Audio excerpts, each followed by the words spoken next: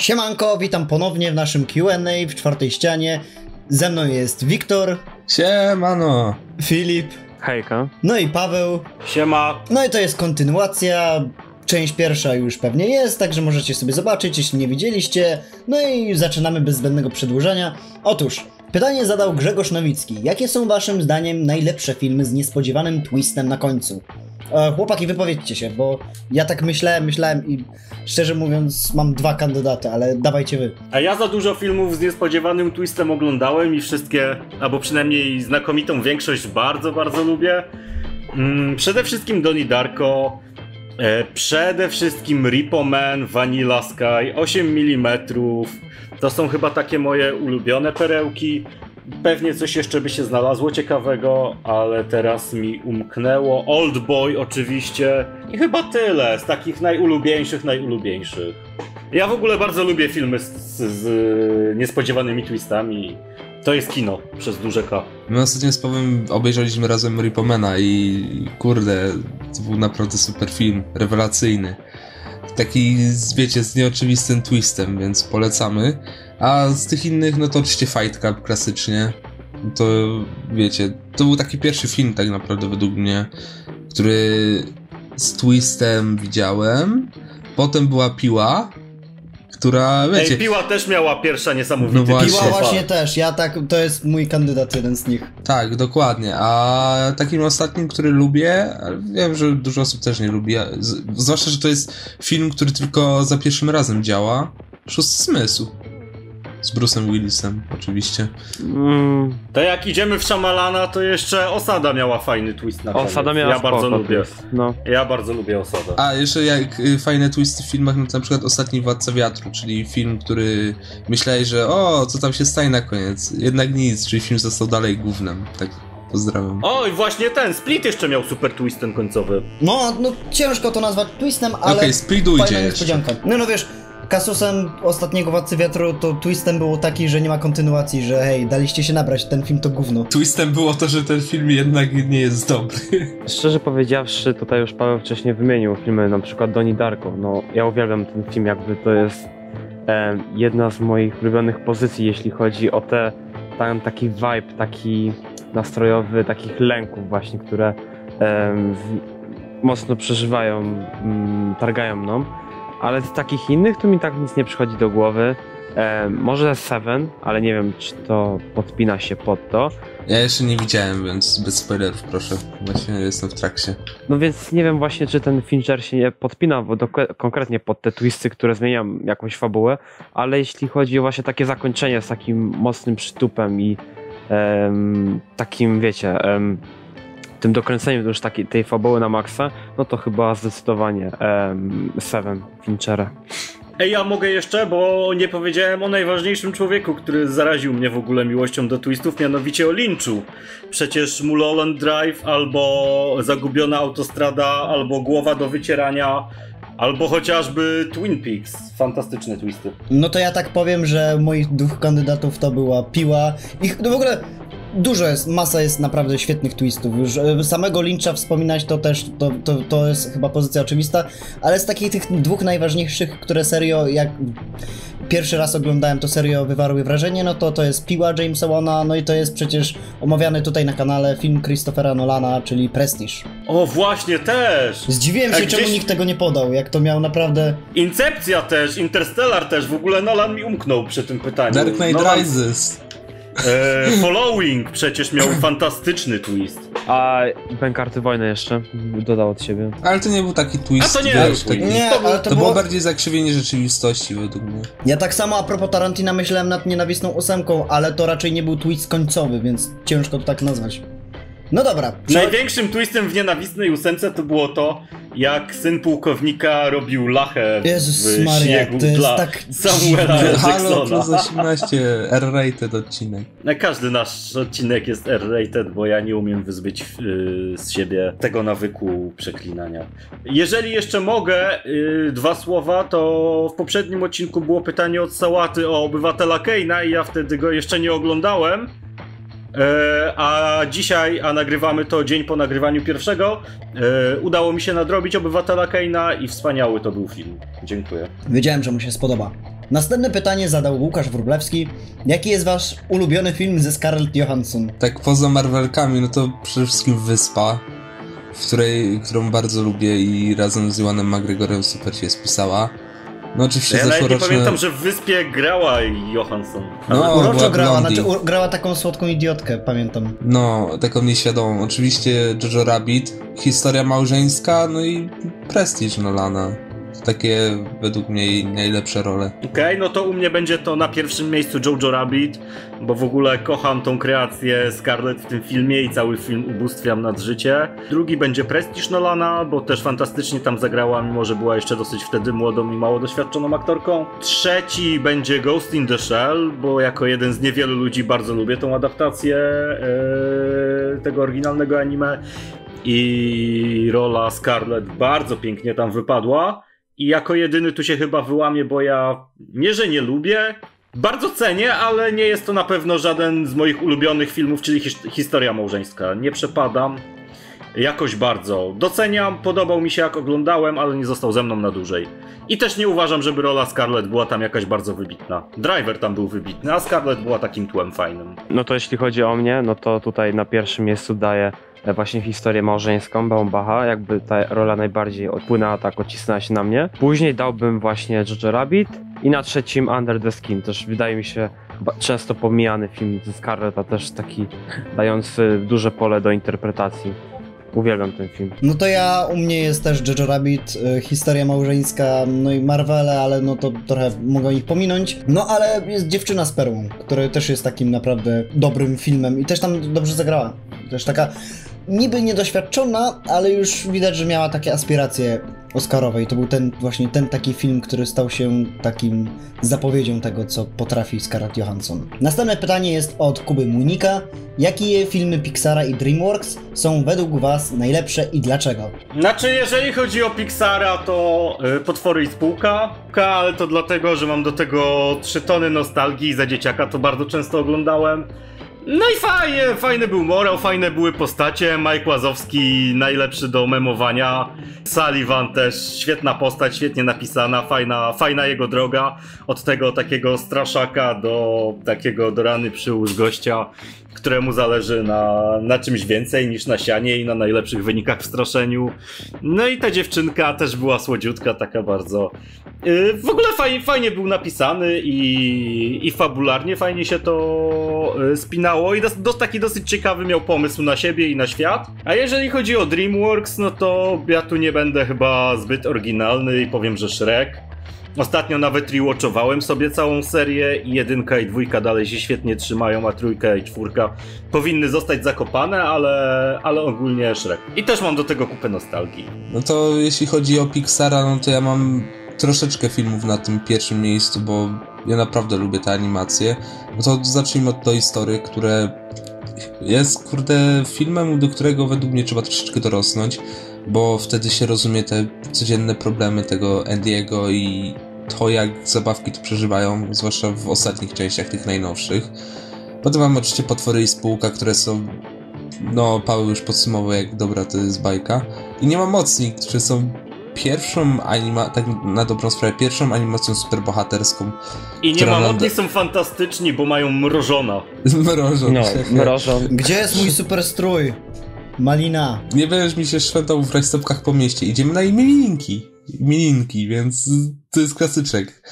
A potem są auta, które wiem, że wiele osób nie lubi aut, ale ja za dzieciaka bardzo uwielbiałem auta i nawet teraz sobie czasami lubię powtórzyć.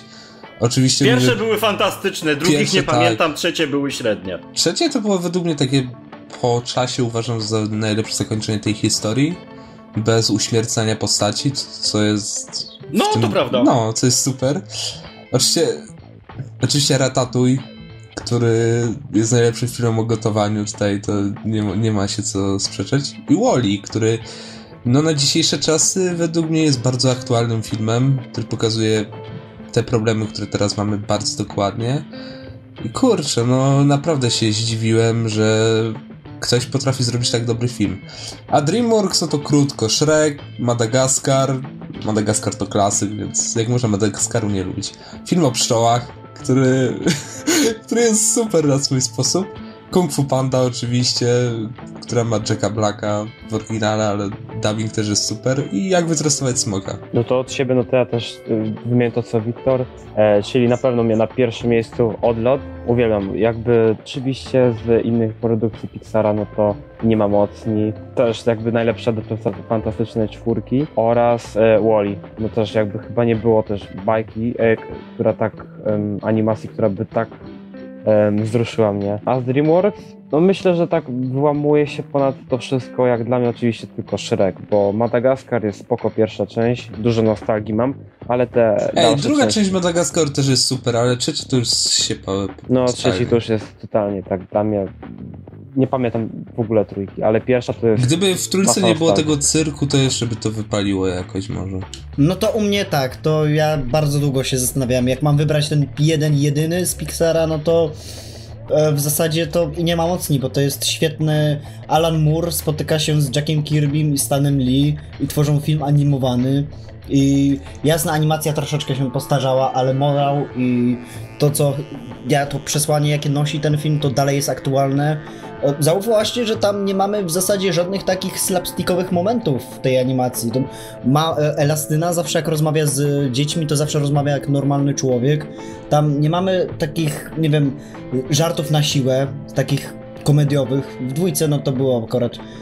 Dwójka to co innego, ale właśnie Dwójka to jest dalej... powtórka jedynki, tylko zmienione No, ale dwójka, nie, jedynka, jedynka jest super, ja uwielbiam z tych wszystkich animacji, no oczywiście jeszcze, wiecie, no Toy Story, trójka, czy Wally, Wally też jest w sumie nad moim trójcem ulubionych Pixarów, ale z tych wszystkich jakbym miał wybrać, no to jednak um, i nie ma mocni, bo ten film właśnie pokazał i obudził we mnie miłość do kina superbohaterskiego, do jakiegokolwiek medium e, z pele, pelerynierzami.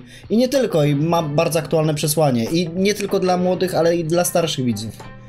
No a z DreamWorksa to Książę Egiptu, Shrek 2 i Kung Fu Panda 2, ale tak na piedestał taki naprawdę, naprawdę mocny to Kung Fu Panda 2 ma świetnego antagonistę, ma e, kontynuuje świetnie wątki i jest naprawdę bardzo dobrym też akcyjniakiem w zasadzie dla, dla dzieci. Dalej się to super ogląda. Gary Oldman jako Shen jest rewelacyjny i ogólnie cała obsada jest świetna. Ogólnie Gary Oldman jest rewelacyjny.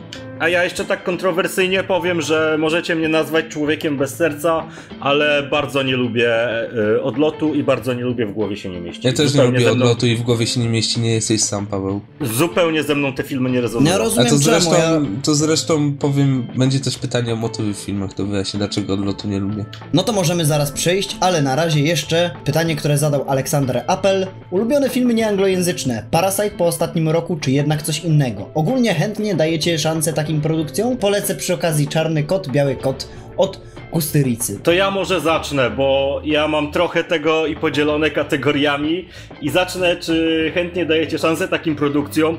No ja bardzo lubię nieanglojęzyczne e, filmy. I ja sobie pozwoliłem podzielić je troszeczkę tak na kraje, tudzież na języki, w których są nakręcone.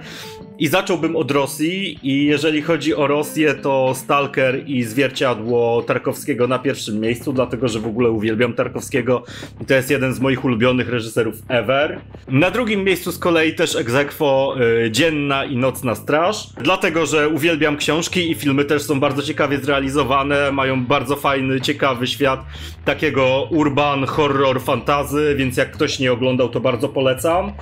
E, Na trzecim miejscu bracia Karmazow, Petra Zelenki, bo uwielbiam oryginał książkowy Dostojewskiego i to jest świetnie zrealizowana produkcja. Później, jeżeli chodzi jeszcze o Rosję, to Lewiatan. Lewiatan też jest super. Lewiatan! No, Lewiatan- Lewiatan, jest jest przecudownym filmem. Lewiatan to jest mój błąd życiowy, którego przegapiłem w kinie niestety. A miałem Ja też nie oglądałem w kinie i A ja miałem żałuję. okazję, miałem już iść, ale wybraliśmy Hiszpankę. O nie! E, dobra, to teraz Węgry i w w węgierskim będzie tylko jedna pozycja, a mianowicie e, szatańskie tango Belitara. Oglądałem w kinie, miałem tę przyjemność, nie wiem, z trzy miesiące temu i się zakochałem. Fantastyczne kino. E, fantastycznie nakręcone. Świetne jest to tempo, mimo że film trwa 7,5 godziny, to wcale się tego aż tak bardzo nie czuję. Teraz może Hiszpania, w sensie język hiszpański. I tutaj też mam chyba tylko jeden taki ulubiony film, mianowicie Ból i Blask z Banderasem, Pedro Almodovara, który jest chyba najlepszym i najbardziej dojrzałym filmem Almodovara. Yy, I zakochałem się, jak pierwszy raz widziałem w kinie, później robiłem jeszcze kilka rewatchy, także też serdecznie polecam. No i Korea. Korea, no to oczywiście Parasite, yy, o którym ty też wspomniałeś tutaj w swoim pytaniu. Korea to oczywiście Old Boy i cała trylogia Zemsty, czyli również Pan Zemsta i Pani Zemsta. Yy, I z takich jeszcze moich ulubionych koreańskich filmów to rzuciłbym jeszcze Lament o którym mówiłem też w poprzednim QA, w sensie w poprzednim odcinku. I chyba tyle w sumie. No to ja od siebie tak zarzucę tros, troszkę. No. Taką mieszanką włosko-francusko-polską, no to może włoskie, no to oczywiście te włoskie filmy, które wymienialiśmy w poprzednim odcinku, czyli Nuovo Cinema Paradiso i La Bella, La, Bella, La Vita e Bella. A z francuskich, no to Taxi, czyli klasyk, oczywiście jeden z moich ulubionych francuskich filmów. Oczywiście jedna z serii ulubionych francuskich No, filmów. Asterix? I Asterix też, no właśnie chciałem Asterixa powiedzieć. Ale jeszcze są Nietykalni, którzy są nie. naprawdę bardzo dobrym filmem. Nie wiem, czemu ludzie go nie doceniają tak za bardzo. Ja lubię, ale nie był jakiś wybitny.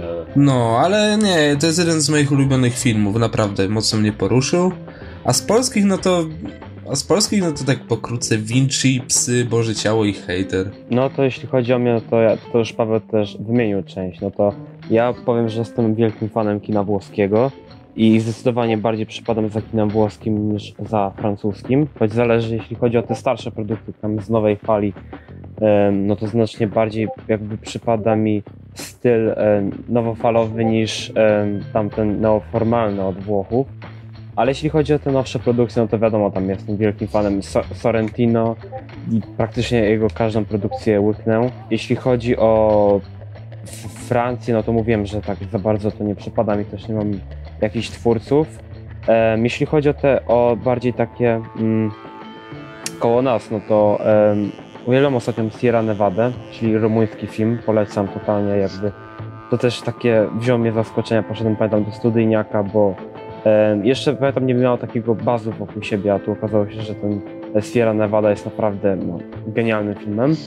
Em, No i oczywiście polskie kino, choć to ostatnie nasze kino z naszego kraju tak średnio wypada, no to wiadomo, że tam polska szkoła filmowa rządzi, Polska górą i e, uwielbiam właśnie wszystko od Munka, od Kieślowskiego, Wajdy, od Hasa oczywiście, a od y, Wajdy no nie do końca. Na przykład Niewinnych Czarodziejów y, tak średnio lubię, ale y, generalnie uwielbiam polską szkołę filmową. Ja jeszcze jakbym mógł dodać tak na szybko, bo zapomniałem o jednym bardzo ważnym dla mnie filmie, o którym też mówiłem e, w poprzednim materiale, mianowicie Kafarnaum. On jest produkcji libańsko-francusko-amerykańskiej, natomiast język jakim się posługują to jest język arabski i język amharski, a sam film jest fantastyczny, więc też polecam bardzo. U mnie jest tak, że po, czy, czy daję szansę takim produkcjom, jasne, to ważne, żeby kino po prostu budziło emocje, wiesz, już palicho jaki to jest produkcji, ważne, że film jest dobry po prostu i za to lubię oglądać różne kina. I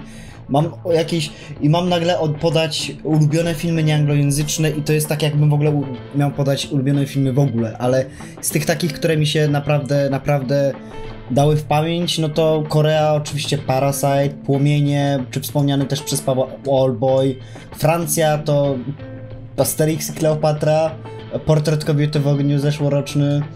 No, jest naprawdę tego dużo, a wiecie, no, z włoskiego kina to, to już mówiliśmy, no Sorrentino, no a, jak on, Sergio Cor- Corbucci, mm, no kino przecież japońskie, czemu jeszcze nikt nie podał, Akira Kurosawa, e, Takarada, Ish, Ishiro Honda, który stworzył Godzilla, w ogóle Godzilla to jest osobny segment na, u, u, u mnie, bo ja uwielbiam Godzilla. Z polskich filmów, no to Smarzowski, jego uwielbiam bardzo. A, uwielbiam Pasikowskiego.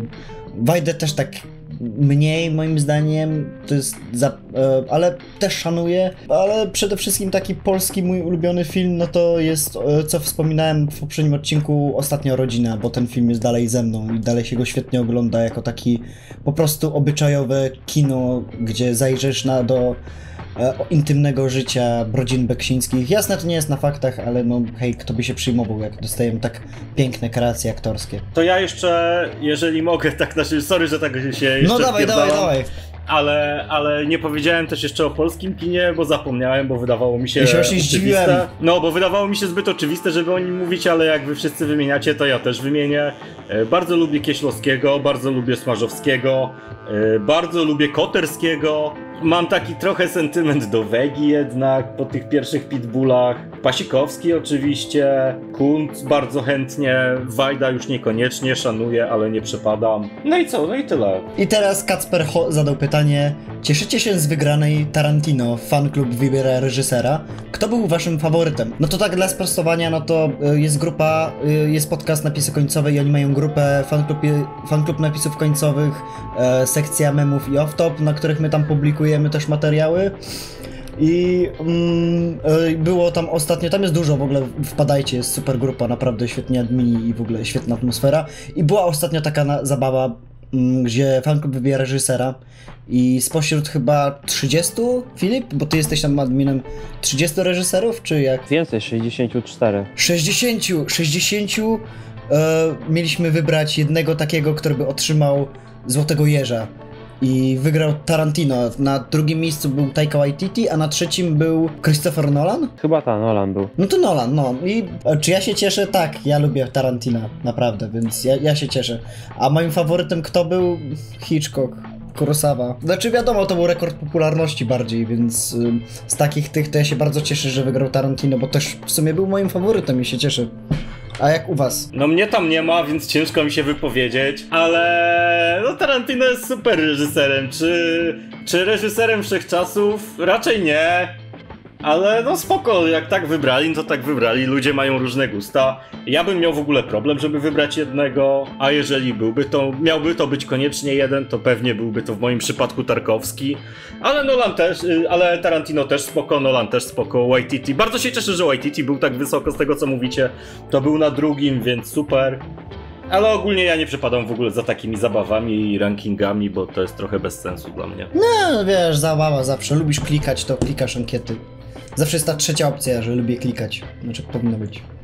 Ale nie, szanuję taką zabawę i teraz jest więcej, bo teraz jest chyba najlepsze serie i teraz jest, zabawa jest jeszcze, przed, jeszcze przedniejsza, bo teraz mamy, wy- wiecie, wybór pomiędzy Parkiem Jurajskim czy Jamesem Bondem, to jest ciężko, naprawdę. Mój faworyt nawet nie doszedł do ćwierćfinału, czyli Denis Villeneuve, wielka szkoda. E, to samo so, e, Sorrentino nie prze, przeszedł przez kolejną rundę. E, Fincher daleko zaszedł, Waititi daleko zaszedł, Tarantino za, wygrał, więc to się jakoś równoważy, ale mimo wszystko po Dune, po Dune to be, każdy będzie wiadomo na kogo głosował, na Denisa, e, Króla. Na razie jeszcze nikt nie docenił jego geniuszu. Jeszcze. Jeszcze. Trzeba poczekać. Poczekajmy do pierwszego trailera. A ja bym głosował na Villeneuve'a, jakbym tam był, to bym zagłosował. No i dobrze. Plus jeden byczku. No to mój faworyt nawet nie przeszedł dalej, czyli Alfonso Cuarón, który jest moim ulubionym reżyserem. Po tej no, grawitacji, powiedzmy, takiej średniej jako film i po Harrym Potterze go uwielbiam. A mój drugi faworyt nawet nie startował. Możecie się oczywiście domyślić, kto to reżyser Green, Green Lanterna. Greg Berlanti? A nie, Berlanti nie reżyser. Myślałem, że Józef Kosiński. Bingo. Berlanty, bingo, ale już nie chciałem tak mówić.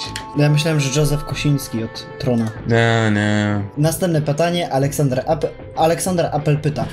Czy są jakieś gatunki lub motyw w tym podobnych filmach, które sprawiają, że od razu się od nich odbijacie? U mnie to było takie granie na emocjach, gdzie całkiem zapomina się o fabule, coś typu filmy Pixara. A tak to jak o Pixarze, jaki jest ich najlepszy film? Oczywiście, że inni ma mocniej. Oczywiście, Aleksander, jasne, że tak. Dobrze czytasz. Od razu powiem, jakieś gatunki? Nie, e, ja zawsze daję każdemu gatunkowi szansę. A jakiś motyw? Mm, To w zasadzie myślałem nad tym i myślałem, że to będzie plot, e, motyw ujawnienia kłamcy, ale w zasadzie moje ulubione filmy udowodniły, że jak to jest dobrze zrobione, jak na przykład, nie wiem, Fargo, to się, czy w Bękartach Wojny, to to dalej ma sens. E, Mój, mój taki najmniej ulubiony, który może psuć, to fejkowe śmierci. Albo takie śmierci, które wiesz, że bohater wygra, ale trzeba go jeszcze poobijać, pokazać, że ej, a czy by na pewno i nagle umiera, a nie, bo jednak ostatnią, e, ostatnim tchem tutaj mu się udaje i, i w zasadzie tyle. A jeszcze Love Interest konieczna dla po prostu bycia Love Interest też jest takim najbardziej irytującym W motywem. tronie to wypaliło. W tronie Nie jeszcze wypaliło. wypaliło. Wypaliło, bo nie miała. No co ona ze starym miała ta kura. Jak Kora. Kira. Kłora. Kora. Okej, to u mnie, jeżeli chodzi o, ga- o gatunki, to tak, są takie. Teen dram nie ruszam, odbijam się od nich po pierwszych kilku sekundach filmu. Tak samo nie ruszam głupich amerykańskich komedii typu American Pie. Chińskich bajek. E, Tak, i w większości anime do mnie nie przemawiają, więc też zazwyczaj ich nie ruszam z małymi wyjątkami. E, jeżeli chodzi o motywy, to taka prosta historia gościa, który ma być królem, ale wszyscy nie chcą, żeby był królem. Tak piję tutaj do ciebie, Aquamenie. E, od tego się bardzo mocno odbijam. Co jeszcze? Może taki właśnie motyw love interest, która koniecznie musi być i też mówię tutaj o Aquamenie i o Merze. I w sumie właśnie takie granie na emocjach też mi trochę przeszkadza, dlatego na przykład właśnie nie lubię odlotu, ani w głowie się nie mieści. I chyba tyle. No, myślę, że myślę, że tak. To ja się tu zgadzam z Pawłem, że i z Aleksandrem, że u Pixara to granie na emocjach jest takie okropne. To jest motyw, którego ja naprawdę nie lubię. Yy, Potem jest podmianka, podmianka głównego tego, głównego, jak to się nazywa, McGuffinu. E, na przykład podmianka dzieci, bo wiecie, jest ten tam wózek i ktoś na chwilę, na sekundę się odwróci i o nie, zabrali mi moje dziecko, o, to ten sam wózek, o nie, trzeba to zamiana teraz walizki. przedstawić. Zamiana Tak. walizki. Właśnie, ga- Walizki. filmy, które opierają się tylko na ganianiu za McMuffinem powinny być, McGuffinem powinny być kurwa jebane maczetami. Ale przecież twoje ulubione filmy są o McGuffinie, czyli Władca Pierścieni. To nie jest McGuffin, bo To jest on McGuffin. jest. Nie, to nie jest McGuffin. Bohaterze, bohaterowie go mają, nie ganiają za nim. Ganiają z nim, żeby zrobić coś. Ale to dalej jest McGuffin w zasadzie. Nie, nie, nie zgadzam się w żadnym wypadku. powoli mi się jeszcze nudzi taki motyw, że wiecie, że mamy bohatera, jego odbicie, albo wroga po prostu, którym, wiecie, chce z nim walczyć. No i wiecie, no i główny bohater sobie przegrywa i wraca i wygrywa. O. To jest coś jak w Black, ja to Pan- w. Black Pantherze było. W Black Pantherze, jak już to zobaczyłem, to już trochę takim, tak mi się już za, za, zaleciało mi nudą trochę. Bo wiedziałem, co będzie dalej. No to ja osobiście, no mam dwa takie gatunki, za którymi nie przypadam i jedno z nich to jest oczywiście anime, a drugie to jest bardzo niepopularna opinia, ale to są e, sitcomy. Chciałem kilka razy się przekonać do The Office, Brooklyn Nine-Nine, em, Community, ale nie mogłem. No, Plus jeden, byczku, kurwa, ja też sitcomów nie, nie mogę oglądać. Drake i nich szanuj gościu. coś po prostu mnie o, od nich tak odtrąca i no nie mogę w, w ogóle popać się w tę konwencję, nie wiem czemu. A jeśli chodzi o te motywy... O, ja zap- przepraszam, że tak się wbija, ale ja zapomniałem powiedzieć, jakich gatunków nie lubię i nie lubię musicali. A jeśli chodzi o takie stricte motywy, e, no to na, na, na myśl przychodzi mi tylko taka em, pompatyczność. Jeśli twórcy budują film wokół pompatyzmu, który nie jest niczym podbudowany, jeśli chodzi o narrację, czy w ogóle losy bohaterów i e, to mnie zawsze odstraszało nie tylko w filmach, ale też w komiksach. Kto ma wiedzieć, ten wie. Em, no i myślę, że tyle. No. Na razie sobie nie przypomnę takich innych motywów, choć na pewno ich jest e, jakaś masa, ale staram się ogólnie być otwartym na e, wszystko. Kolejne pytanie jest od Vespery Veril. Wyobraża, wyobraźcie sobie, że możecie zmienić dowolne elementy w jednym wybranym filmie. Aktorów, reżysera, muzykę, cokolwiek. Może być wiele rzeczy. Jaki film wybieracie i co byście zmienili? The Rise of Skywalker, zmieniam scenarzystę i reżysera na Ryana Johnsona. Dziękuję. No, można zamykać. Można zamknąć. Nic sensowniejszego tu nie padnie chyba. No to ja powiem, że zmieniam reżysera w Godzilla King of the Monsters na Guillermo del Toro i nie zrobi porządny rozpierdziel, a nie a, tutaj jakieś wątki ludzkie, które kompletnie nie angażowały.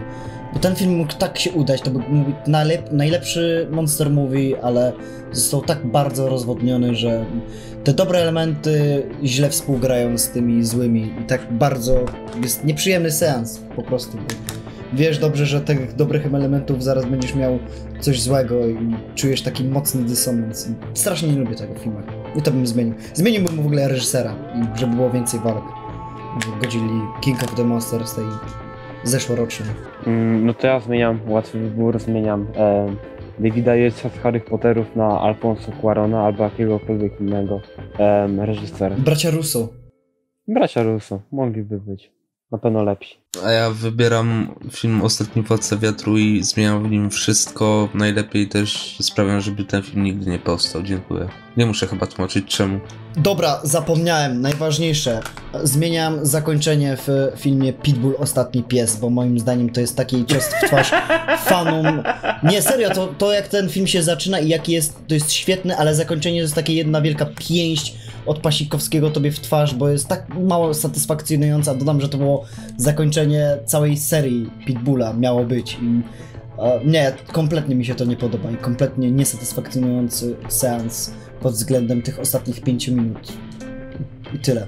Ale to już mówiłem wiele razy, zawsze się żaliłem, każdemu się żalę. A to w sumie na dobrą sprawę też można powiedzieć, że w dwóch ostatnich Obelixach, Asterixach i Obelixach aktorskich, aktorskich, przepraszam, zmieniamy aktora grającego Asterixa na Christiana Klaviera i tyle. No, to też. Też spoko. Bartek Berecki pyta, czy według was filmowe uniwersum Assassin's Creed ma jeszcze szansę na bycie, czy to bardziej spalony temat? Y, Ja szybko, spalony temat. Gry Assassin's Creed jadą tylko i wyłącznie teraz na eksploracji i to jest siłą, że to ty możesz się wcielić na przykład w Bajeka albo w Alexiosa i eksplorować świat i czujesz radość. Tak, i nie, nie ma kompletnie sensu. E, jak miałoby być, to nie wiem, nikogo nie interesują już takie wysokobudżetowe kino sandałowe. To nie tędy droga, moim zdaniem. Nie, spalony temat. Ja też uważam, że spalony temat nikomu to nie jest potrzebne do szczęścia i mogliby przestać próbować ekranizować gry, bo to jest ciężko zrobić i chyba na razie nie ma kompetentnych ludzi ku temu, żeby to robić. Niech gry będą grami, a filmy filmami i każdy będzie zadowolony. Wiesz, teraz Uncharted będzie wychodziło, robią The Last of Us serialowe. No Po właśnie. kiego, skoro gry filmowe są już w pewnym sensie filmem? Też jest taki, nie wiem czy znacie, ale to ewentualnie polecę yy, taki kanał na YouTubie i to się nazywa yy, Growe Filmy, czy jakoś tak. I tam gość montuje wszystkie cutscenki i ważne elementy gameplayu w jeden 3-godzinny czy 4-godzinny film. I możesz sobie bez grania w grę to obejrzeć. Na przykład jest taki film z The Last of Us 1. O kurde, Growe, ej, his- brzmi jak coś, co muszę zobaczyć.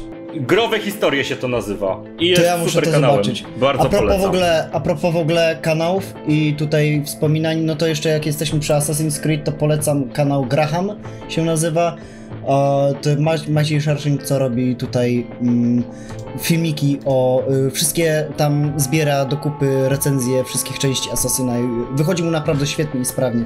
Także polecam obczaić kanał Graham. Filip, a ty co sądzisz o Assassin's Creed? Nie no, spalone, no ja to już nic nie dodam. Już pierwszej części nienawidzę. Może za parę lat rzeczywiście to ma potencjał na naprawdę fajne, e, fajną rozbudowę.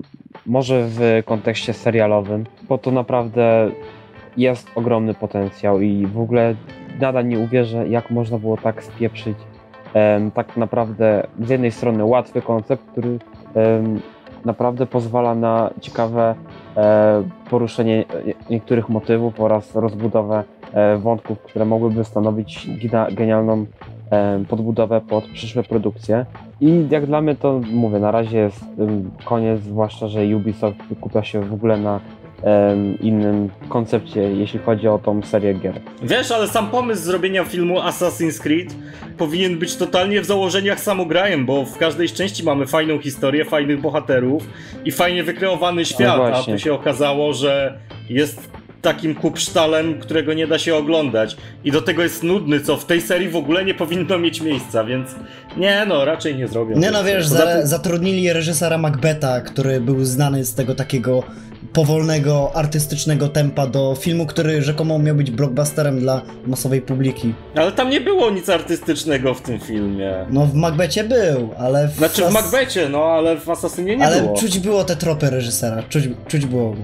Sałata pyta, czy według was oceny liczbowe mają sens i co w takim razie sądzicie o Filmwebie abstrahując od tematu społeczności? E, Filmy, okej, lubię tam sobie dodawać oceny, lubię tam dodawać komentarze, oceny liczbowe na Filmwebie mają sens, bo one są podpisywane, że nie wiem, dziewiątka to jest rewelacyjny, 10 arcydzieło, jeden nieporozumienie i wtedy w takim kontekście ma to sens, natomiast jeśli ktoś, wiesz, mówi, że no dla mnie to jest 8 na 10 albo nie wiem, 5 na 10, to kompletnie nie wiem o co ci chodzi. Ty, serio, powiedz co mi się, co ci się podobało tam, ale to już każdy wyraził opinię na ten temat. Y, Ja nie jestem kompletnie y, zwolennikiem ocen liczbowych, bo to w zasadzie co znaczy 8 na 10, a co znaczy, nie wiem, 3 na 10 w kontekście jakiegoś filmu. Jak nawet nie wiem, wiesz, wypowiedz po prostu opinię, co, jakie elementy ci się podobały, a jakie nie i, i tyle, a nie, że no, taka czwóreczka. Ten film to czwóreczka taka, ale co czwóreczka, to że okej dla ciebie czwóreczka, czy czwóreczka to jest dla ciebie totalny gieniot. Ja się tutaj zgodzę z Maxem totalnie. Oceny liczbowe są bez sensu, bo różne liczby znaczą różne rzeczy dla różnych ludzi, więc zupełnie się to w żaden sposób jakby nie pokrywa. A co do Filmwebu, no ja nie przepadam, nie używam, nie lubię, nie czytam. Często artykuły, yy, jak kie- kiedyś przeglądałem, często artykuły osiągały mm, poziom dna. E, recenzje niby profesjonalnych recenzentów również. Do tego według mnie to jest bardzo słaby agre- agregator opinii, bardzo zmanipulowany przez y, user score. Nie, nie przepadam za tym portalem. Zależy co, jeżeli mam, wiecie, na filmie mam masę znajomych i część z nich znam prywatnie i wiem na przykład, co dla kogo oznacza dana ocena, tak? I em, szczerze, ja nie mam nic do em, filmu ani ocenia po prostu w skali liczbowej. Em, lub ja sam stawiam ocenę, wiecie, ósemeczka, coś tam podpisuję, co mi się podobało, ale nie lubię tego wprowadzenia dyskusji o filmie, o konkretnych aspektach właśnie do to co Max powiedział, że 8 na 10, jakby to dla mnie zabija całą dyskusję oraz tak naprawdę to, co stanowi piękno dyskusji o filmie, czyli em, analizowanie em, danego dzieła pod kątem rozwoju bohaterów czy różnych elementów fabuły i jakby wydaje mi się, że jakby sam fakt, że teraz mm, te niektóre agregatory ocen jak właśnie Letterboxd, który też zresztą lubię, ale też no właśnie Filmweb, e, no trochę zabijają tę dyskusję. Wydaje mi się, że właśnie no powinniśmy wszyscy tak rozdzielić jakby mm, ocenianie na Filmwebie, stawianie ocen, a taką dyskusję. Wydaje mi się, że to jest często mieszane ze sobą. Ja ogólnie nie lubię środowiska filmu webowego. Ja tylko sobie tak wpadam, żeby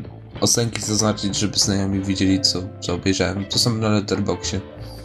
Tam się w żadne dyskusje nie wdaje, unikam po prostu tematu i tyle. Nie, forum filmowe to jest w ogóle kopalnia złota, jeśli chodzi o... Poza tym oceny filmowe nie mają sensu, bo każdy odbiera jakieś dzieło inaczej i nie ma z tego oceniać. Albo ci się podoba, albo nie, to wystarczy. Nie, a filmowa też używam właśnie, bo tam też mam dużo znajomych i też o, o, wiem, co dla nich znaczy, pa, pa, wiecie, dana ocena, więc no. No i też mam filmowa, żeby Wiktora powkurwiać ocenami z Arrowverse słabymi. Następne pytanie od Sałaty. Najlepsze animacje DreamWorks. No i już tutaj odpowiedzieliśmy. Lecimy dalej. Bartosz Cygulski pyta. Jaki jest wasz najlepszy film superbohaterski i dlaczego to Spider-Verse? Em, czy to Spider-Verse? Nie. Nie, Nie powiedziałbym. Nie wiem, z MCU jak mam wybrać, no to mój ulubiony w zasadzie to Civil War. Z DC to tak ciężko w zasadzie, bo du dużo ich było, trochę. A taki ogólnie stricte superbohaterski film, który mam teraz wybrać mój ulubiony jak na razie, który mi się tak bardzo podobał, to Logan. Jest takim... Ja bardzo lubię kino drogi i to jest takie rasowe kino drogi, nie może nie najlepszym wydaniu, ale takim E, wszystko to, co jest w kinie nie drogi, to to jest zbier- zbierane do tej jednej takiej tutaj kupy. Mamy, wiesz, ogólnie tak poza MCU mówiąc, bo MCU wiadomo, teraz jest z górą tak naprawdę środowisku filmów no nie, ciężko wybrać. Ale tak poza MCU, no to Konstantin oczywiście. Konstantin to jest z Keanu Reevesem, to jest mój ulubiony film superbohaterski. Taki aktorski i nie oddałbym go za nic innego po prostu. Jest jedyny w swoim rodzaju, jest super. Keanu w ogóle zagrał rewelacyjnie. Ogólna zmiana konceptu Konstantina jako postaci jest... Wyszło po prostu na dobre, więc Konstantin u mnie. To u mnie totalnie jest to Endgame i chyba nie ma nic lepszego, ewentualnie na równi z Infinity War. Yy, I może to nie jest oryginalne, no ale tak jest. Natomiast Spider-Verse No, był spoko, ale czy najlepszy? Raczej nie. Endgame, totalnie endgame. Z tych animowanych wiadomo i nie ma mocni. No, ja się zgodzę z Bartoszem akurat i powiem, że dla mnie najlepszym był właśnie Spider-Verse, który wywołał we mnie no, chyba najwięcej emocji. A z MCU, no to Winter Soldier chyba, tak. Winter Soldier dla mnie to jest taki...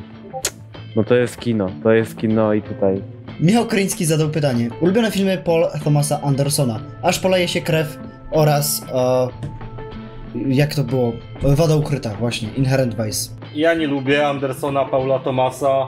Odbiłem się od niego, próbowałem Magnoli, próbowałem aż poleje się krew i próbowałem wodę ukrytą. I od każdego z tych filmów się odbiłem, żadnego nie dokończyłem, więc ciężko mi się wypowiedzieć jakby. Ja kocham Paula Thomasa Andersona, dla mnie to jest e, no, topka moich ulubionych reżyserów. E, moim ulubionym jest jego chyba aż poleje się krew, no, za tą dla mnie w ogóle kreacja No, Paula Dano ten- i e, Day Daniela Luisa to jest w ogóle e, no majstersztyk, arcydzieło, ta właśnie ostatnia scena z milkshake'em to jest przeszła już i tak do historii kina. Um, uwielbiam Boogie Nights, jakby w ogóle wciąż jestem w szoku, że wtedy aż tak młody um, Paul Thomas Anderson, bo on wtedy miał dobra, nie chcę mi się liczyć, ale miał chyba z 20 parę lat.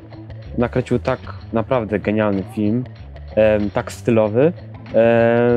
No i mistrz oczywiście, no ta kreacja Phoenixa też totalnie się wy, wylewa z tego i dla mnie jest jedną z najlepszych kreacji męskich w ogóle em, ostatnich lat, nawet lepszą od jego Jokera. Ja z ręką na sercu się przyznam, że Paul Thomas Anderson to jest takie moje, moja kubka wstydu, którego filmu jeszcze nigdy nie widziałem żadnego i mam w planach najbliższym, w najbliższych czasach nadrobić sobie filmy jego, Gaspara Noe i paru innych jeszcze reżyserów, których nie zdążyłem. Więc taka kubka wstydu niestety u mnie.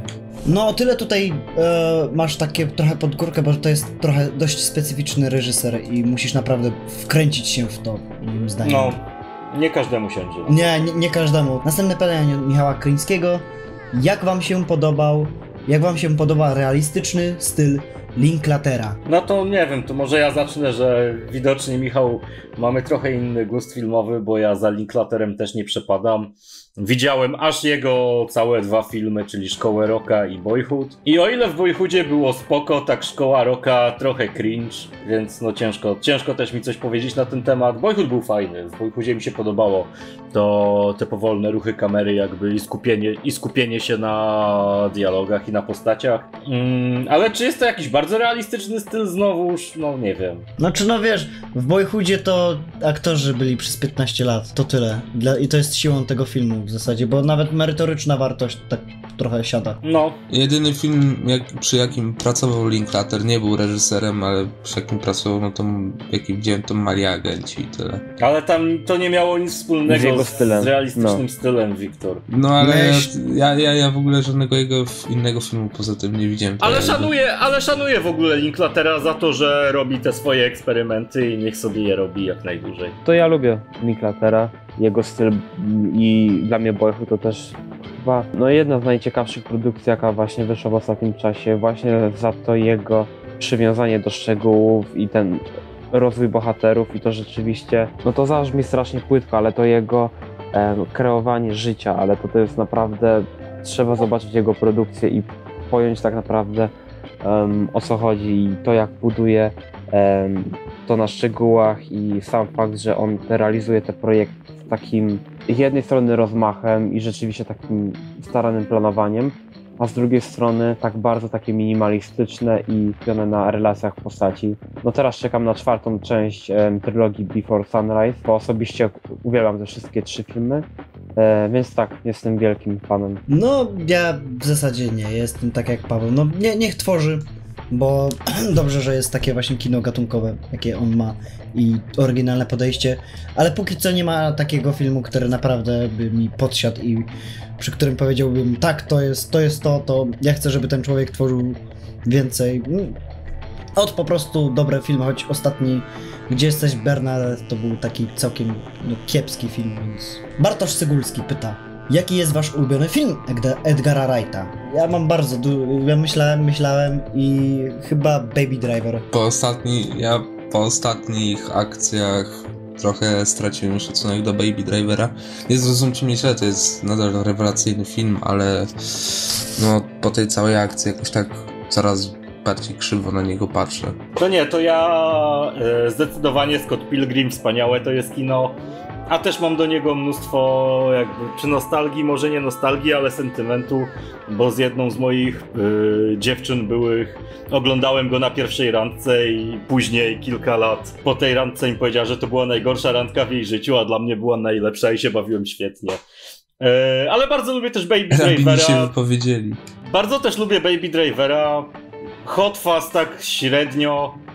Yy, ale bardzo czekam na Last Night in Soho i myślę, że to będzie koniec końców mój ulubiony To będzie film taka bomba, stary. To będzie bomba i To, to, będzie, jeśli wierzyć tym totalna jazda o czym ma być ten film, to tego, wow, rozsadzi na spodziewa. mózg. Kompletnie. No, ja tak samo jak Paweł, uwielbiam Scotta Pilgrima, mój ulubiony film Edgara zdecydowanie. I Baby Drivera też lubię i całą trylogię Cor e, Cornetto też i chyba najbardziej z tej trylogii. Kurde, no właśnie nie wiem, czasem się zastanawiam. No niby lubię em, zakończenie, e, trzecią część, ale z drugiej strony do pierwszej mam mnóstwo takiej nostalgii, bo chyba najwięcej razy ją e, rewatchowałem, ale no Scott Pilgrim zdecydowanie to jest moja dycha na 10 na 10 i kocham Edgara całym sercem za tą jego miłość do kina, na, zresztą on jest strasznie wielkim erudytą filmowym i jak jest jakiś, em, jakiś thread na Twitterze o filmach z lat, wiecie, 20 30 to zawsze tam jest Edgar, zawsze Edgar tam edukuje innych, więc em, za to go kocham i też czekam mocno na e, Last Night at Soho. No mówiłem już przed chwilą, że tak na Baby Drivera nie patrzę zbyt przychylnie, ale przecież ma jeszcze inne filmy Edgar Wright, więc mamy oczywiście tego cudownego Scotta Pilgrima, który jest takim, no powiedzmy sobie szczerze, waleniem do popkultury, który jest cudowny. E, Mamy Hot Fuzz. W ogóle Hot Fuzz jest cudowny. Ja jestem tym człowiekiem, który lubi Hot Fuzz, zwłaszcza, że tam Simon Pegg występuje, to już w ogóle... To, to jest ta trylogia Cornetto, tak dobrze wypowiadam? Tak, to jest druga część. To ja tylko widziałem tą drugą część, muszę nadrobić pierwszą i trzecią. Ale kurczę, to jest naprawdę tak super. I w ogóle kiedyś myślałem, że Edgar Wright robił przygody Tintina, ale potem zobaczyłem, że to Spielberg i kurczę. A i gdyby Wright robił Tintina, to, to byłby jeden z moich ulubionych filmów, ale skoro robił go Spielberg, no to co Spielbergowskie, to Spielbergowskie. To lecimy dalej. Michał Kryński pyta, czy obecność dwóch osób, których imienia nie wolno wymawiać, psuje wam seans podejrzanych? Nie oglądałem podejrzanych. Ja też. To jest ten film z Kevinem Spacey i Benicio del Toro? A, wiesz co? Nie, dobra, ja to powiem tak, że jak mi nie psuje y, seans obecność tych dwóch osób, pewnych innych dwóch osób w Baby Driverze, to pewnie też mi w podejrzanych nie będzie. Nie, ja po prostu nie zdążyłem Znaczy, obejrzeć Tam podejrzanych jest na czas Kevin. Spacey i nie wiem kto drugi miałby być. Nie wiem, możesz Michał napisać w komentarzu o jaką drugą osobę chodziło poza Kevinem Podejrzani. Brian Zinger. No, Bryan Jejku, Singer. przecież. Brian A, Zinger. Singer to robi. Dobra, Singer to robi, dobra. Mi nie przeszkadza. Ja jestem y, zawsze człowiekiem, który lobbuje oddzielenie dzieła od artysty i to w kontekście i reżysera, i scenarzysty, i aktorów, i dźwiękowca, i kogokolwiek, kto sobie przy tym filmie pracuje. Kevin Spacey jest świetnym aktorem, więc dlaczego miałaby mi przeszkadzać jego obecność na ekranie? W żadnym stopniu mi nie przeszkadza, wręcz dodaje temu filmowi, także nie wiem. Chciałbym częściej widzieć y, Spacey'ego w rolach. Bardzo mi przykro, że teraz go nigdzie nie zatrudniają, bo to naprawdę fantastyczny aktor i szkoda. A to, co se robi po pracy, no to niech se robi, no. Nie nam to oceniać jakby. E, jakby to powiedzieć, nie został skazany, zarzutów mu nie postawiono. To, to że ktoś zginął zaraz przed y, zeznawaniem, to niczego nie dowodzi. Kevin Spacey jest fantastycznym aktorem i nie wiem dlaczego mielibyśmy go piętnować za jego życie prywatne, tak samo dlaczego mielibyśmy piętnować kogokolwiek za jego życie prywatne. Teraz była na przykład ta akcja z y, bojkotowaniem Gansa Kimbo, to naprawdę jest fantastyczny film, fantastyczny akcyjniak.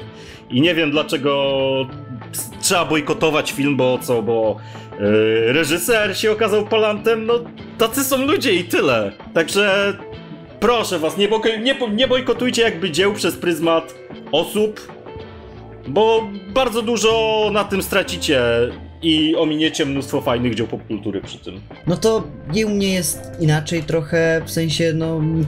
E, trochę inaczej patrzę na postać Kevina Spacey w filmach, ale jeśli, bo przecież aktorzy wcielają się w bohaterów, jeśli sam bohater jest dobrze zrobiony, no to w zasadzie nie patrzysz na ten, nie patrzysz już na, na, na aktora, no to tak samo jak masz reżysera i patrzysz na to, co on stworzył, a nie w zasadzie to, jaki on jest prywatnie.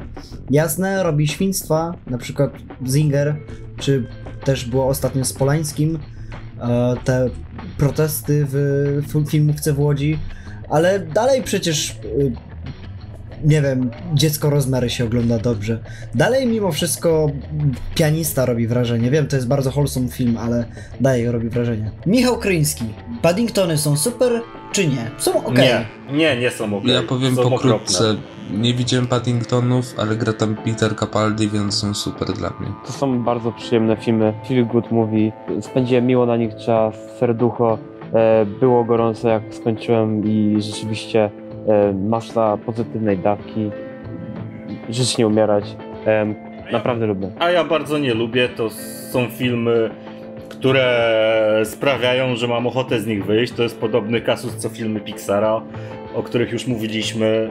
I nie, ani postać mnie nie kupiła, ani, ani jej zagranie głosowe, ani jej wykonanie, ani cał, cały koncept y, tego filmu, więc nie, nie lubię. No to to by było chyba na tyle, jeśli chodzi o część drugą. Zapraszam też również na część trzecią, która się też pojawi niebawem. I no i co? No i dziękuję za tyle pytań, dziękuję za taki duży odzew jeszcze raz w imieniu całej czwartej ściany, także do usłyszenia i ze mną był Paweł, Narka, do usłyszenia. Wiktor, Hej, na razie, cześć. no i Filip. Do zobaczenia. Ja byłem Max i czekajcie na następny odcinek Q&A i do zobaczenia.